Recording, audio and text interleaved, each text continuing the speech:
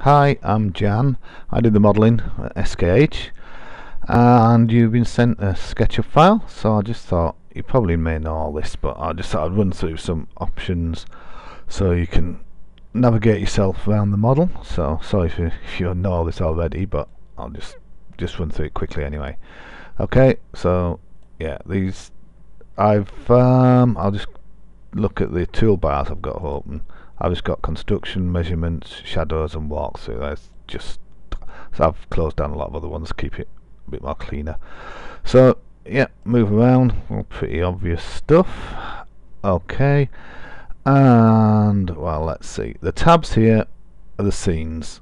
So different scenes are different scenes from the videos. So you can click through them and navigate around the model that way that's quite good. Right and then measurement tool quite obvious for measuring. And let's see what else we've we got up here.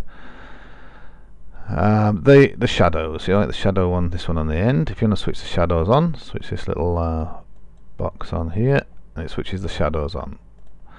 Uh, I, generally when I'm working I keep the shadows off because unless you got uh, it takes up a lot of memory and slow the model down so I'll switch that off. The little information one's quite good because it gives you opens up another little box here and gives you more detail so you can actually like if you click on there you can actually have more control of the time of day. And here's the date. So it's a slider or a little pull down menu here so you can actually choose the times. Uh, and then you can turn it off from this little box at the top again. You have some, you can alter it here as well, but I, I prefer the more detailed one. Okay, um, another little thing is this, this, um, this here, this little chap.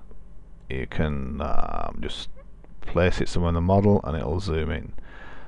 And quickly, and then you can move around once you're inside. Oh, I'm not actually inside there. okay when you're supposed to oh, there you go.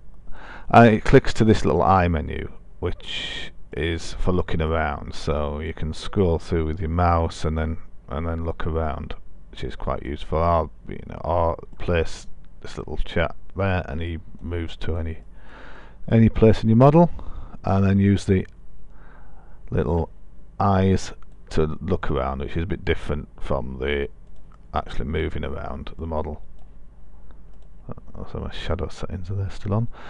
So yeah and you can click on that little eye at any time just to to stay in the one spot and sort of look around. But it defaults to it when you actually click the little little man there. That's quite nice and useful for when you're going around. Um, another important things um, here is if you go to the Windows tab and well I'll just show you the scenes. There's uh, all the scenes and here you get little thumbnails. So you can add more scenes or take scenes away. And you go to other scenes and yeah just generally navigate around with the scenes. Okay but one of the most important things is layers. Alright so these are layers here. So you can instead of having to negotiate yourself through the model try switching layers on and off. Um, so you'll have to just just have a play around really find out what you can't do any damage. So so if you like take the roof of the old building off and then the top off then you can have a have a look in. And you can switch them all back on and yeah and it's quite very useful layers. So yeah just have a have a little play around with that. Uh, switch them back on again. Oh yeah and just whatever you, whichever you want to do. So yeah, can't go wrong. Uh, all the models grouped. Oh, let's on here to select to select something. Yeah, this is all the models grouped. Okay, one other use, very useful thing is the entity info.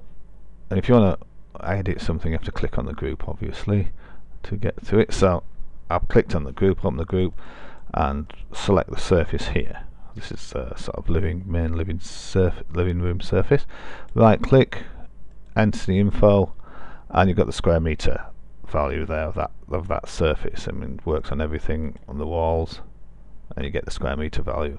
Uh, always remember, architects include the wall thicknesses as well. So if you add it up and you, yeah, it's you have to include the wall thicknesses. But it's a good it's a good way of finding out just sort of general square meters of rooms and stuff. Also, if you click on a line, uh, that'll give you the length, which is quicker than measuring. If you just want to check a space or you know, or anything, so you can just navigate through your model and so if you go sofa fitting somewhere, a wall or a picture, then you can just you know, just click on the line and all. But that's that length. Okay, so that's quite easy.